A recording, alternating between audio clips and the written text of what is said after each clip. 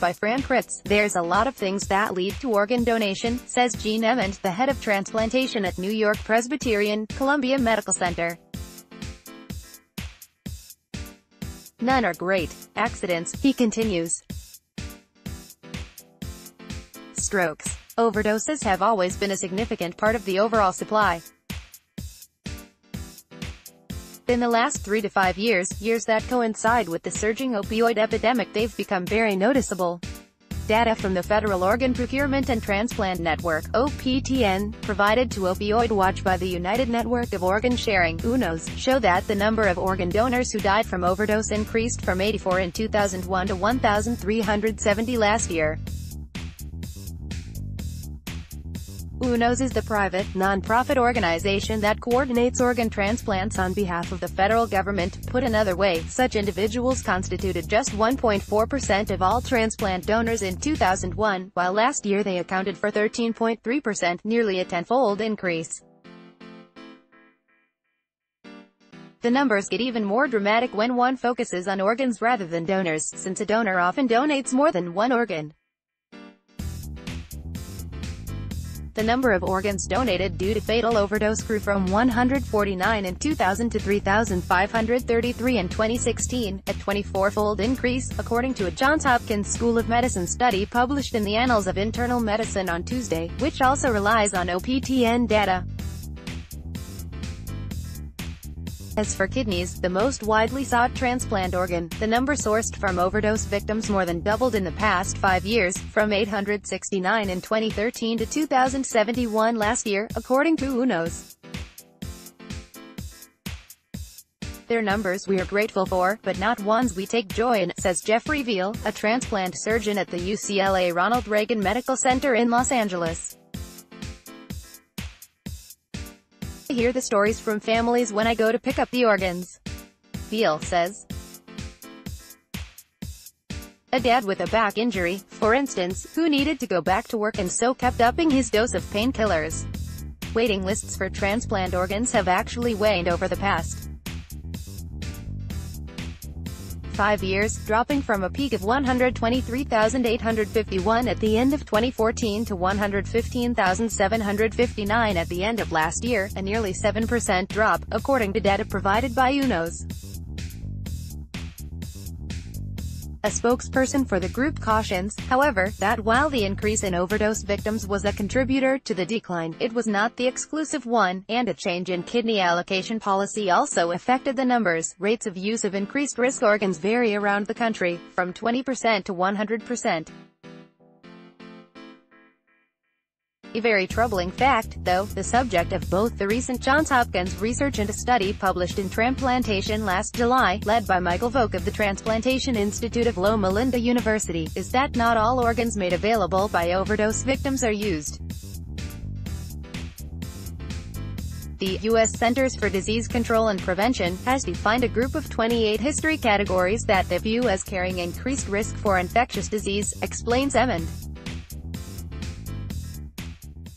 Incarcerated people, for instance.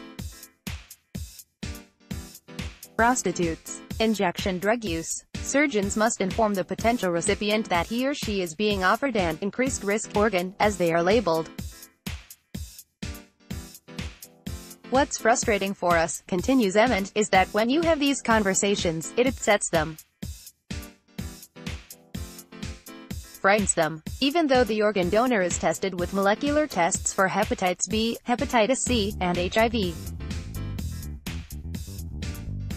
The increased risk is often about 1 in 10,000, while there's a 1 in 5 chance of dying without a transplant. The greatest risk, he says, is presented by donors who die with a needle still in their arm. But even then, he says the likelihood of infection is slim, between 0.5 and 1%. The warnings do appear to deter some people from accepting available transplant organs.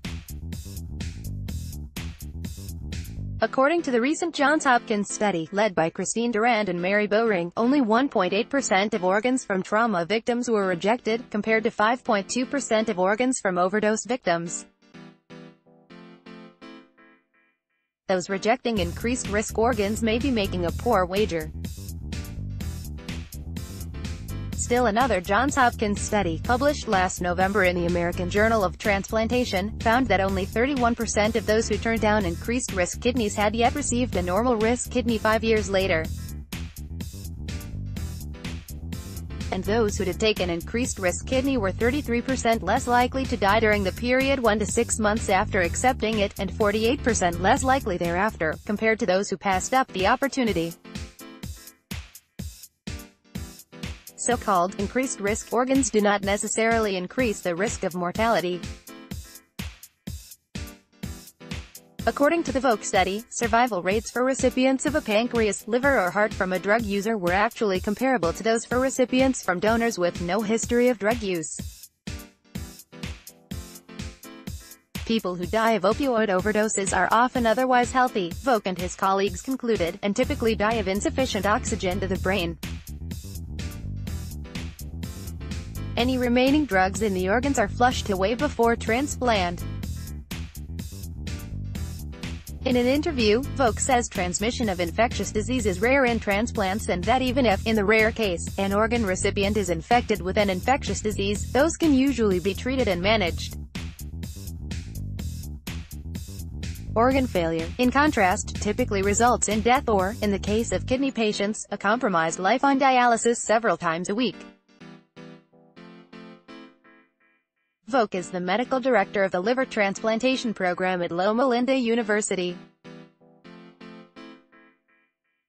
Rates of use of increased-risk organs vary around the country, from 20% to 100%.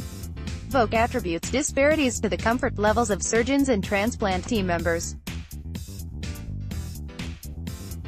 What that tells us, co-author Daniel Kaul told a University of Michigan publication last October, is there may be a different understanding of true risk associated with this label, from one center to another and even within a center, from one organ specialty to another. Kaul is the medical director of transplant infectious disease at the University of Michigan.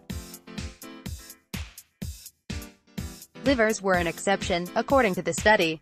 The rate at which increased risk livers were accepted was similar to those that did not carry that label. There's a simple explanation for that. For kidneys, patients can continue on dialysis, which, though uncomfortable, can keep them alive, explains David Klassen, the chief medical officer at UNOS. There's no such alternative for liver disease, he says. The Volk study found that if all organs labeled increased risk were not so labeled, an additional 300 organs might be transplanted each year in the U.S. While it's unlikely that the increased risk label will be removed, more such organs could be transplanted with better patient and doctor education about the risks and benefits, Volk says. Christine Durand, who led the recent Johns Hopkins study, sees an additional argument in favor of making use of increased-risk organs, the dignity and wishes of the deceased and their families. In the transplant community, she says in an email, we have the responsibility to honor the gift made by all organ donors and their families. If we fail to keep that promise, then we add to the tragedy of the lives lost. Though the increase in opioid overdose donors has made more organs available, says Klassen, efforts to sign up more donors continue in earnest. We don't want to use one crisis to solve another, he says. As physicians, we want to solve them both. This story originally appeared on Opioid Watch. More from Opioid Watch. Most high-dose opioid patients should be tapered down, even involuntarily expert. The opioid crisis is now about synthetics and poly drug use download.